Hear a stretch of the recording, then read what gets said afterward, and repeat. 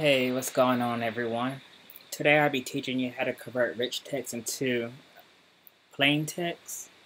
I already built the table and a form. I only have one record in here. Go over here. I'm to empty this out. That's where the plain text is going to go. So I got a rich text field right here. Let's close the table out and load the form up. As you can see with rich text, we have all this different format and different colors and stuff. In plain text, you can't have any of this. It's all just regular text. You either have like uppercase or lowercase. So the first way I'm going to show you just, this is an unbound control. I'm going to just copy the, this text over to here. So let me go to design view. And then we're going to go to the onClick event. First, I'm going to move the text over there without converting it over so you can see how it looks. And then I'm going to convert it over. And I just name that text box text T manual. And it's going to equal me that rich, which is the table field name. I'm going to save that.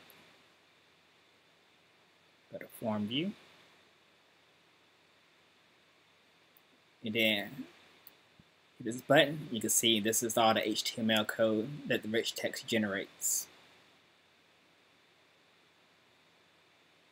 Alright, so next I'm going to go ahead and convert it over. So I'm going to go back over here. And this uh, method is in the application object. It's a global method, so you don't actually have to call application first. So you can do it either like this, application, that plain text. If you set a length, it only is going to copy part of te the text in there for however, however long you want. Or if you leave it empty, then it's just going to convert the entire text. So we go back over to the form, hit it again, and you can see it's in plain text. Alright, and this is the other field that's in the table. So let's go ahead and update that field to plain text. We got a query that I built over here.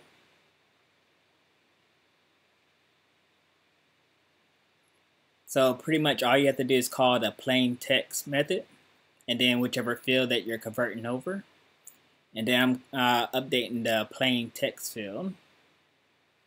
So you can update the from the rich text like this, or if you have like multiple tables in there for the update, you may have to call that table's name. So you would do like data, and then choose rich close it off like that. I'm gonna run it. Yes, we do want to update. Close this out. You see there it is. We go look in our data table. And then we got our plain text. And just like I said before, you don't have to have the application. That plain text, you can just call plain text. Go back to the form. Close this out.